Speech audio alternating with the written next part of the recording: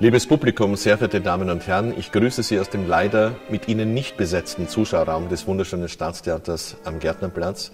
Ähm, wir hoffen aber, dass er sehr bald für Sie wieder geöffnet wird, denn wir alle wissen, Kunst und Kultur sind ein Grundnahrungsmittel und auch in pandemischen Zeiten unverzichtbar für eine gesunde Seele, für einen gesunden Geist.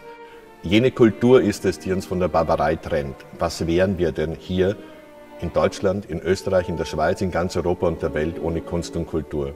Wir alle wissen, dass wir nicht dafür sind, dass die Theater geschlossen werden und bleiben.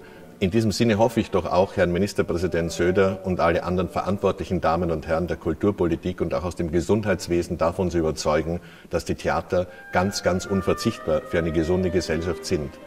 Natürlich ist uns klar, dass die Zeit nicht so rosig ist, aber umso rosiger ist es hier herinnen. Umso wichtiger ist es, dass dieser Vorhang, dieser wunderschöne bald wieder für Sie aufgeht. Bleiben Sie in erster Linie gesund. Wir sind für Sie da. Wir arbeiten weiter. Wir proben weiter für Sie, um bald wieder Sie hier als Publikum so zahlreich als erlaubt begrüßen zu dürfen. Liebe Grüße.